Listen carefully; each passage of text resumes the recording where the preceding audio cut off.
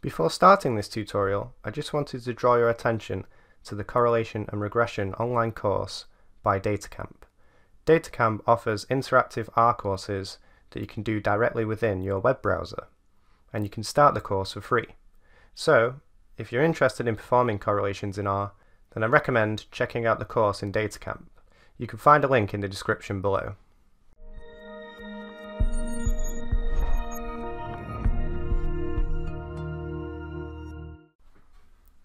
Pearson correlation test is a parametric statistical test to determine the linear correlation between two variables. For this tutorial, I will use the trees dataset that is already available within R. To load the trees dataset, I will simply run the following code. Data, open bracket, trees. Close the bracket, and then press the return key. So you'll notice that the trees dataset is now available within my environment and I can preview the trees dataset by using the head function by typing in head and then within the brackets type in trees. So notice that the trees dataset contains three variables, girth, height and volume, and these are recorded for 31 cherry trees.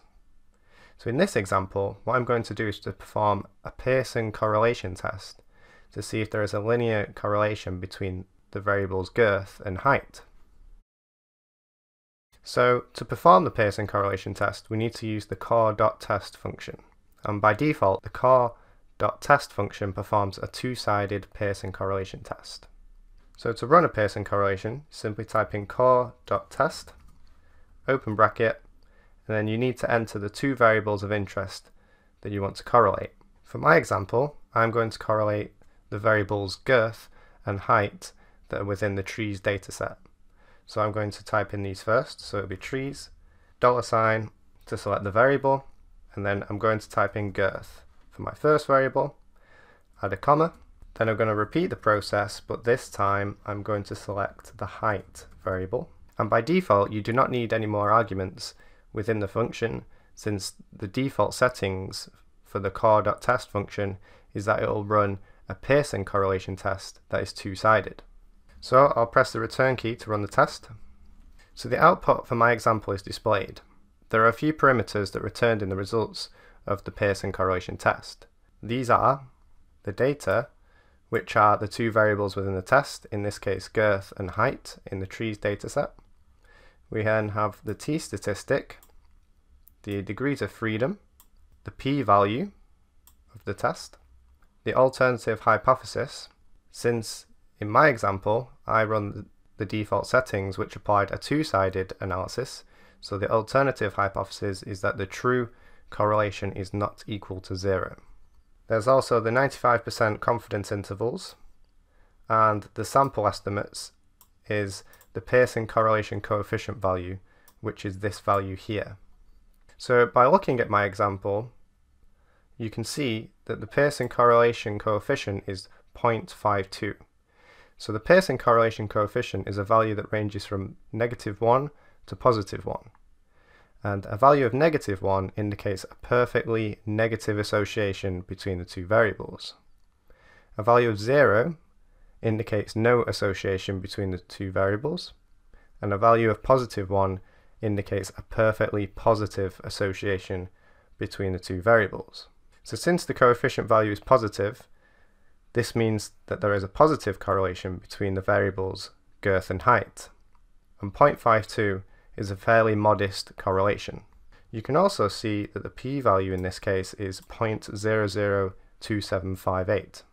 So if I set my alpha level to 0.05, since this p-value is below my alpha level, I would reject my null hypothesis and accept my alternative hypothesis. In other words, there is a significant positive correlation between the girth and height of the cherry trees. So there are some additional arguments that you may wish to change in the cor.test function when running a Pearson correlation test. One of these could be to change the confidence level, and by default this is set to 0.95. So if you want to change the confidence level, you simply enter the argument conf.level equals and then enter a numeric value between 0 and 1. So if I wanted to run a Pearson correlation test with a confidence level of 0.90, I would simply enter 0.90 and then rerun the test. So as you can see, the confidence intervals are now 90%. Another thing you may wish to change is the alternative hypothesis. So in other words, do you want to run a two-sided analysis or a one-sided analysis? By default, a two-sided analysis is performed. But if I wanted to run a one-sided Pearson correlation test with the alternative hypothesis describing a positive association between the two variables, then you can simply enter the argument alternative to change this. So if I enter another argument within the function, and this is called alternative, and then equals. So the values that can be accepted here are two-sided, two-dot-sided. I remember these are within speech marks, and this would perform a two-sided Pearson correlation test, which is the default setting. Or you can change this to greater. So this would mean that the alternative hypothesis is indicating a positive correlation between the two variables. In my example, this would be a positive correlation between girth and height. Or you can change this to be less. And less is when the alternative hypothesis is stating a negative correlation between the two variables. So if I were to run a one-sided positive association Pearson correlation test, I would simply enter greater here and then run the test. And as you can see here, the output states that the alternative hypothesis is that the true correlation is greater. In other words, there is a positive association than zero.